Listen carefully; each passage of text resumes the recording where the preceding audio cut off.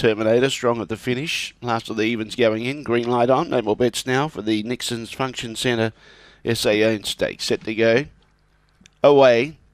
Ellen Terminator, centre of the field. El Rose began really well. She's out in front. In second placing is Lockrule. Nice and handy. Here comes the favourite, Ellen Terminator. He's got a chance to go between both of them. Looms up, goes to the lead, gets past El Rose. Then behind those, Obnoxious Casino, uh, Taman and backup Tiger at the tail end of the field with Top Nolan, but off and gone. Ellen Terminator wins easily. Second, Lockrell, I'd say. Late attainment on the inside, I reckon's grabbed third. Elrose may have held on for fourth. Obnoxious wasn't far away with Casino.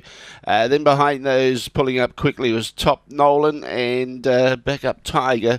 The time around 22.67. Too good, the favourite. Five, eight, nine, and seven. Five, eight, nine, and seven. Five, eight, nine, and seven.